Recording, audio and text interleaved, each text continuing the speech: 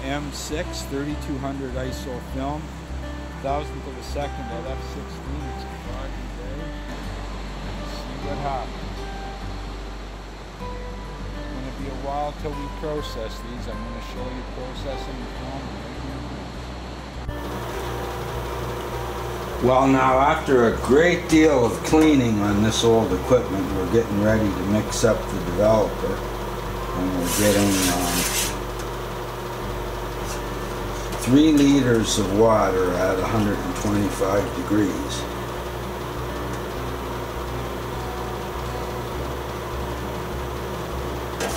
That'll work. Now we take our developer and yeah, I'm gonna have to cut this with something.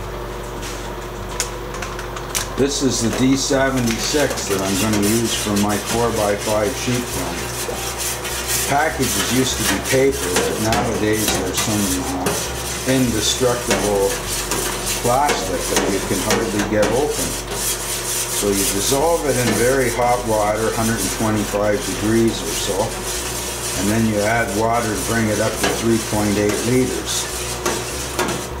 This is taking me back. I haven't mixed this stuff in ages and ages. It's going to be very interesting to see how it all works. I had to spend hours cleaning all the equipment. Overspray, dirt, everything, all over everything. Well, there it is. Now we just stir that for a good long time. Now, after a good deal of stirring, well, we'll give it a little more just for good measure. Now we're going to decant this into my graduated beaker here, and we'll see how much exactly we have.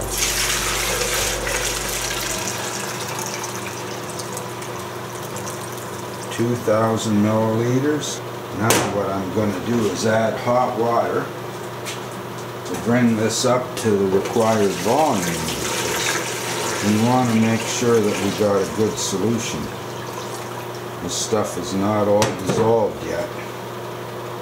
So I have to spend quite a bit of time whipping it into shape. The trick is not to get too much air in as well. When it's mixed, I'll put a floating lid on top of the solution to keep the oxygen from destroying the developer with time. Well, I seem to have a nice uniform solution now. There's no precipitate in the bottom. It's all good. Temperature dropped a little bit. We have to remember to cool this to 68 degrees before we try to develop any film in there you'll have a horrible mess. So we're going to use that one for the developer. We're going to use this one for the stop bath because I don't have a floating lid for this one and this one we'll use for fixer and then I'll wash them outside in another tank. I guess it's time to mix the stop bath. Well, the Ilford stop we mix 1 to 19. So that means, hmm, to make uh, 4 liters, say. That's, um, hmm. What is that? 200, 200 milliliters. 500 makes 10 liter. If I put 400 milliliters of this,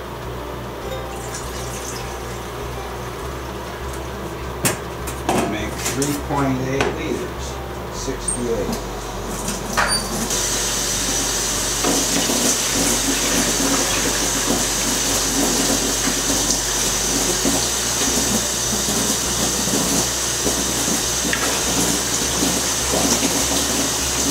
No, I'm wrong there. That's too strong.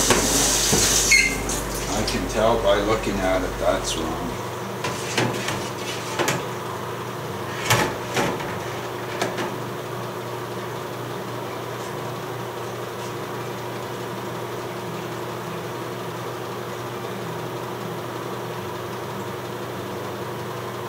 way too strong.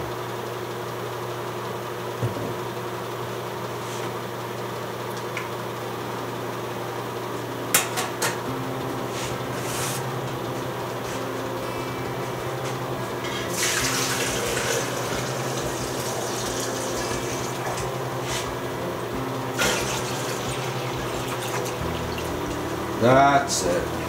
That's the right dilution now. Mhm. Now this is Kodak to make 3.8 liters of film and plate fixer. So that's what we want. It's good for 7.6 liters or 2 US gallons for paper, but we're doing film, so you gotta mix it the stronger way.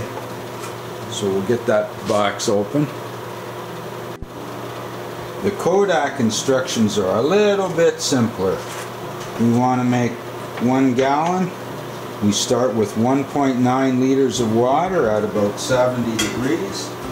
Get our water.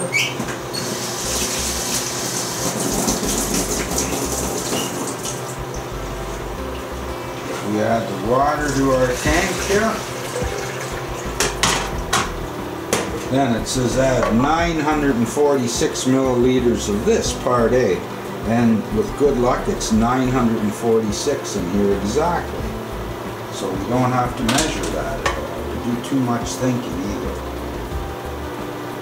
Don't like thinking much. A little tricky to get packaged. There's always something, right? Now we use our Kodak thermometer to stir it in.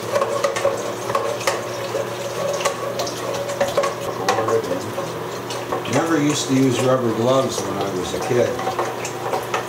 And uh, I used to mix uh, fixer out of rocks of sodium thiosulfate and break them up with my bare hands. It's pretty cool doing that too. Okay, so we've added that.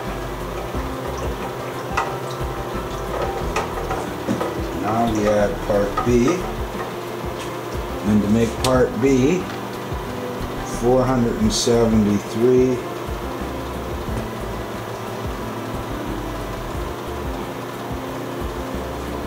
yeah we'll use all of this as well.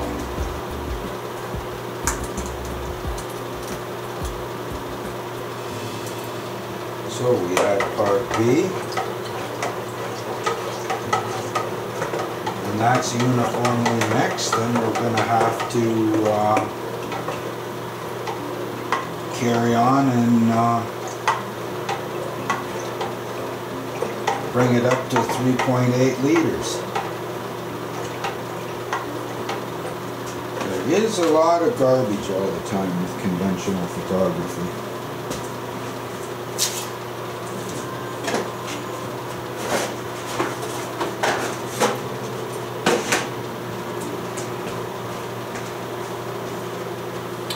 Okay, so we're up to, we're nicely mixed. Now we'll just check our chemical volume and we'll see how much we've got. Because we have to measure, these tanks are not graduated, so. Fill that one up to 2,000 mil.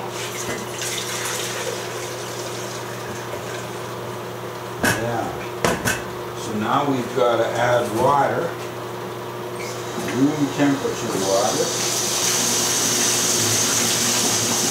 Bring this one up to 1800.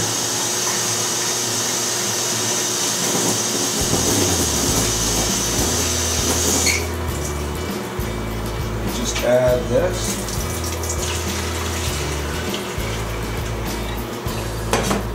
And add this.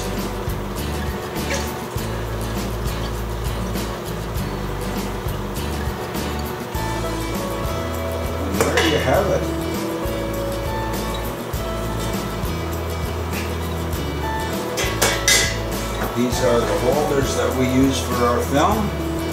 So when we're going to put the film in, they'll sit in there just like that. That's our fixer. So that's how it works. So we start in the developer, then in the stop, and then in the fixer. I have a floating lid for this developer tank. Just push it back there. Now what I'm gonna do, I bought these little bottles earlier today. Now I bought these little bottles because what I'm gonna do is I'm gonna use them I wanna process some roll film today as well. So we're gonna process the roll film in small tanks. So I thought what I would do is get these bottles and put the stop bath and the fixer in here.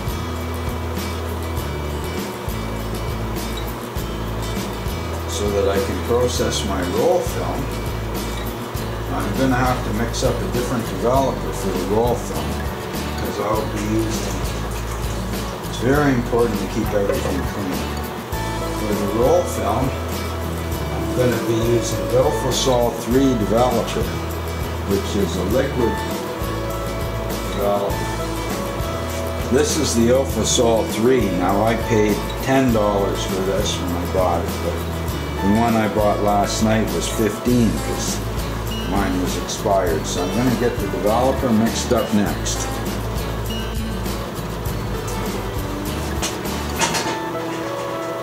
Now I'm going to load my film, 35 millimeter film in the film tank. And then uh, once I've got the film in the tank, I can put the lights back on and we'll mix the chemicals and we'll go from there. So hang on.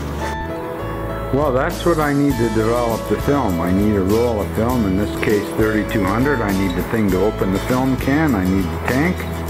And we're ready to go. I'm going to do that right now. It's going to get dark. Well, now I'm going to mix up the Ilfosol developer. I've got 450 milliliters of water. Crack this bottle here.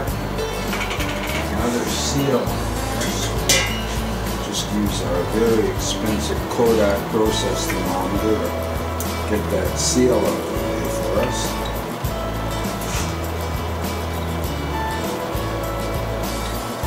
And we'll add 50 milliliters of our solution. Using a long, thin, graduated a better accuracy on the measurement. Allow for the meniscus, we're right on the money. Squeeze the air out of the bottle, helps a little bit. Put that lid on super duper tight, that might be okay to use the next time I want to use it. Now we'll just add that to this. Don't forget, it's good to the very last drops. We're going to want to make sure we get everything out of our graduated cylinder.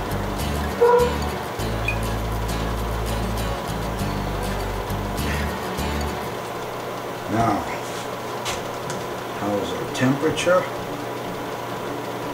We're going to have to heat that up just the tiniest bit. Use a bit of a hot water bath bring that uh, up. Somehow it cooled off.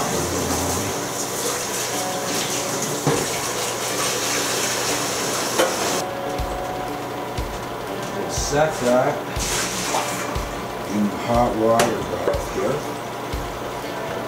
And this is plastic, so it won't heat up all that fast. In the meantime, I'll get our film.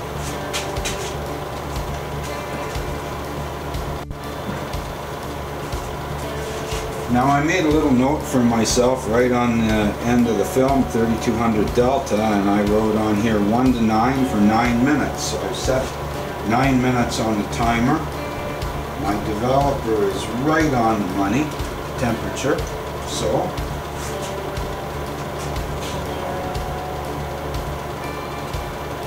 set this aside and get our film tank and we'll just gently uh, pour the solution in. Takes a little while to get it in there, not too bad. There you go. Put the lid on there, hit the timer. Now it's 10 seconds continual. I like to give it a little rap on the floor and get rid of any air bells. 10 seconds at the initial, and then 10 seconds every minute of agitation. So that's my uh, developer. Because I have another roll of film, I've got 100 ASA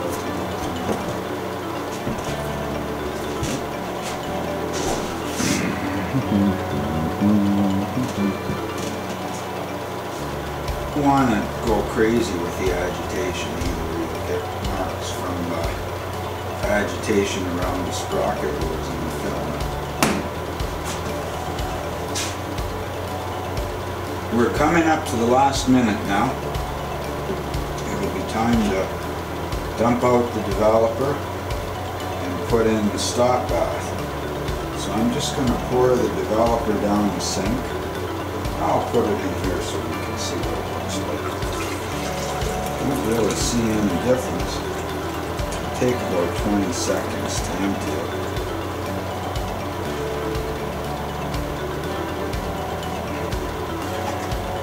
Then we'll take the stock off, which we have right here, and add that to the tank. That'll stop the action of our developer. Lot of times we used to just use water for this back in the day, water bath.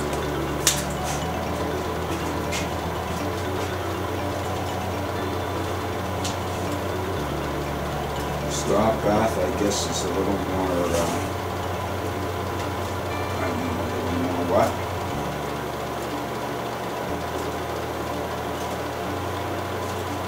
Do you know, I don't know how long to fix this film for.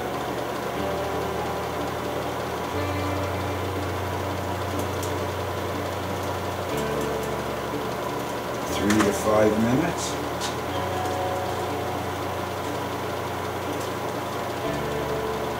Don't want to overdo things.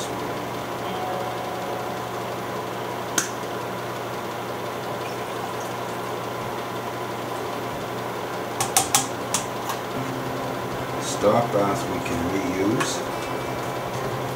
And put the fixer in here. And I think we'll give that four and a half minutes because that's like between three to five and that's brand new fixer.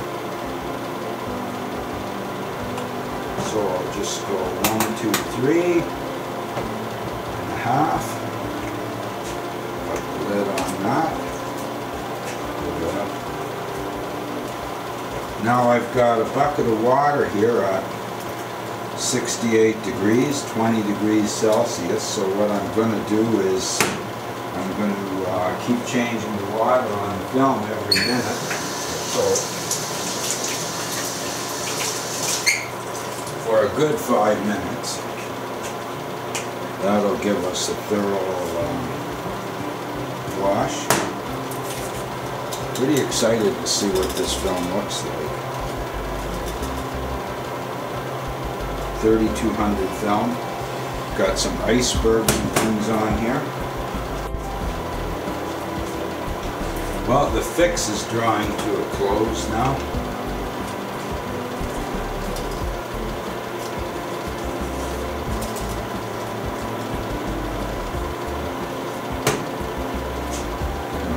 Very interesting to see what I've got. It's always tempting to pull it out and look at it, there's the chance of damaging things, so you just wait until you're done. Okay, the last 20 seconds, good drain time again, so it's not so critical as the developer. I mean, at this point, we got what we got, and we don't got what we don't got, so we'll soon see. I'm just gonna rinse my hand off so I get that bucket of water.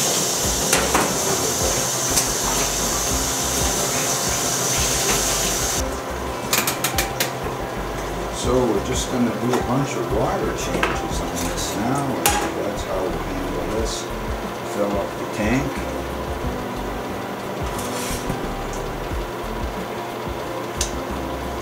Oh yeah. Oh yeah. There's pictures. there's pictures on that wall. So we'll just dump the water in here. Add another one. And I'm just going to keep doing that. I'm going to rinse this off because I don't want to get any fixer, or any chemistry into the in water thing. We want this film to last. I mean, that's the whole purpose of it, right? We should let that bath sit in there for about a minute each time, not rush it. It's the dwell time in the water bath that actually clears your film, nothing else. So.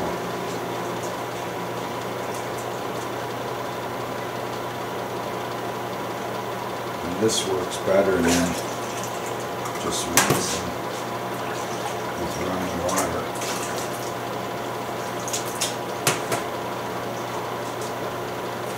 Yeah, it's a long time since I developed a roll of film. That's the last of the wash. Now we dump out the last wash water and I'm going to add some Photo-Flo here, which is basically a little bit of pure soap that's going to uh, reduce the surface tension of the water. We'll give that a minute.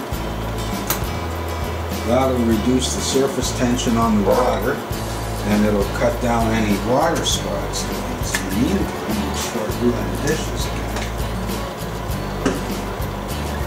tell you, conventional photography is a lot of doing the dishes. So, let's dump that out. Now, rinse off my hands thoroughly.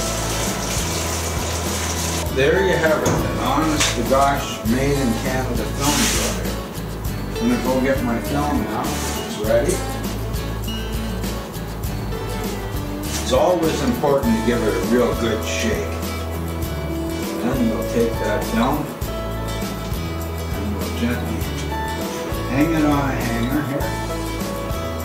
Got some wonderful film hangers. Cost me a bomb back in the day. Oh yeah, there's the Rose Blanche Lighthouse. Oh my goodness. Some icebergs. People. Lots of different things. Okay.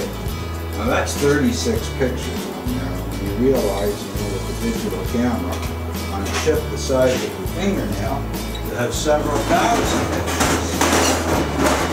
So it doesn't, uh, bear thinking about any too much. And I think we'll just hang it in there without any error. We're not in a big rush.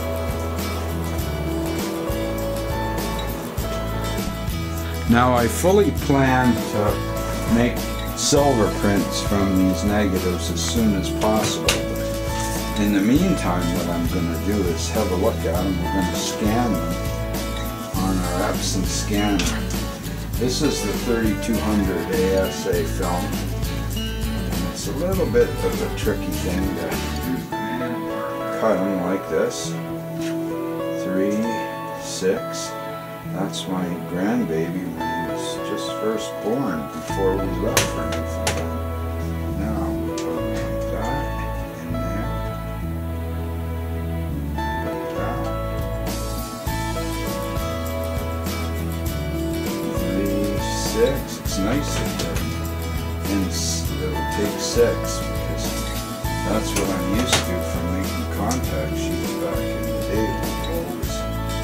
Cut the negatives in strips of six put them into a contact printer. I'm gonna try and get another contact printer that I used to have.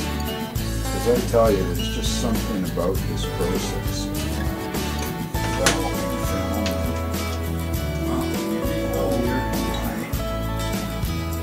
This is going to be very, very interesting.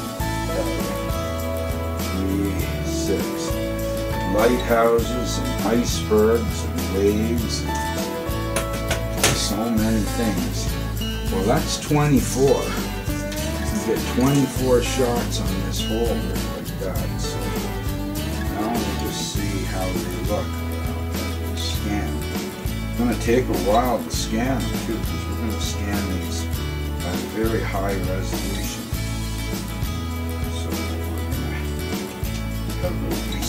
So we're not easy.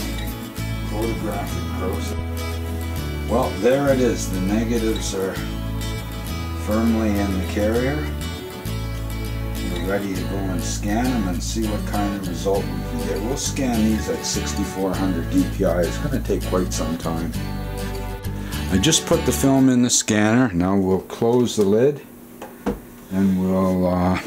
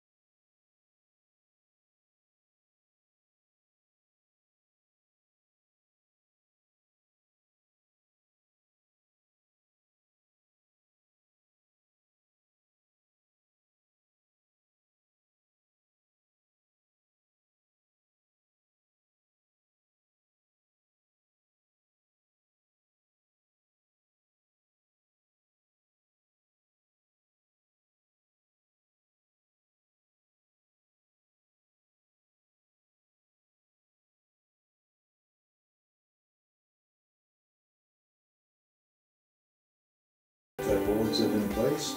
We pull that out, give it a little wee shake, and we clip the film just by the corner on the film hanger. Put it at an angle so that the water will drip off of the corner like that. Lift that one out. Boy, it's a long time since I've done this process. A little more work than squeezing the trigger on a digital camera, but somehow there's something to be said for this process.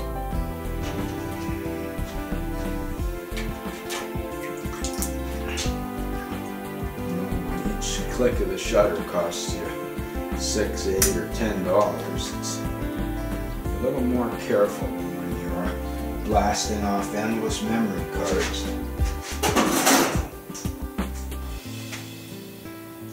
Course, we're going to scan these later on. I've scanned the 35s already. We'll scan these black and white negatives and see what we've got.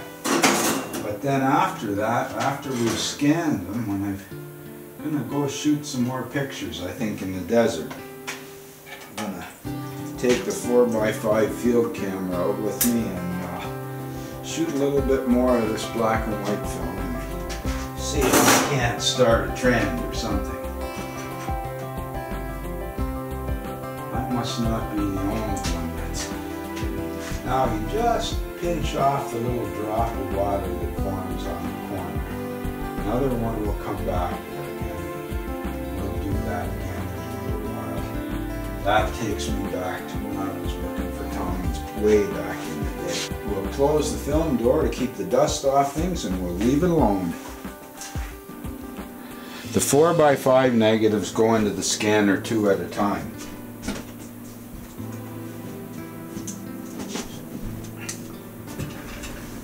The film is much bigger so dust won't be such a problem but we want to make sure try to eliminate all the dust that we can.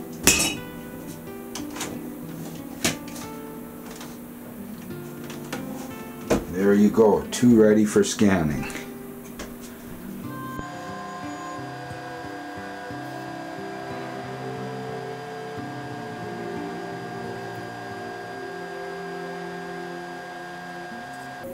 It's not fast doing a big scan like this, it takes quite a while.